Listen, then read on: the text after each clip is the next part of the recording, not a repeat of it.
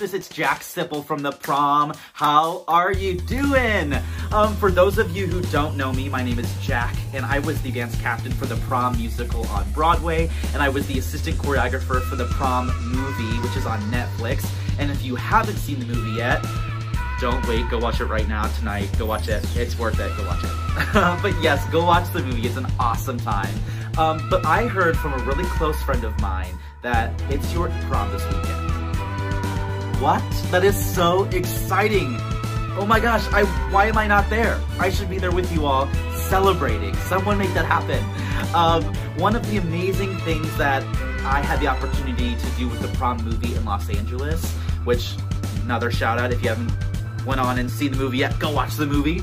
Um, but something that was so amazing that I got to witness and be a part of was that for that final It's Time to Dance number, where everyone's all in the gym, they finally built the prom, we had people of all different ethnicities, ages, everything. And we all came together with such a moment of unity that was so special. So I want you this weekend at your prom to be your authentic self, to be you.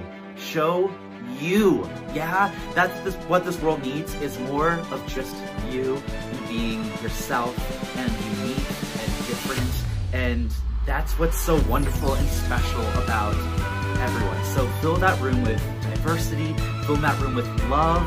Yes, that is what's gonna make this weekend and that prom so memorable and special.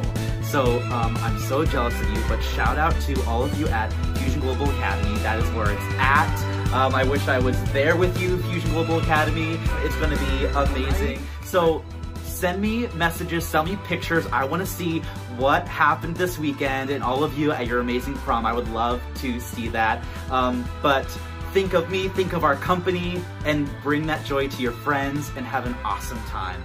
Mwah.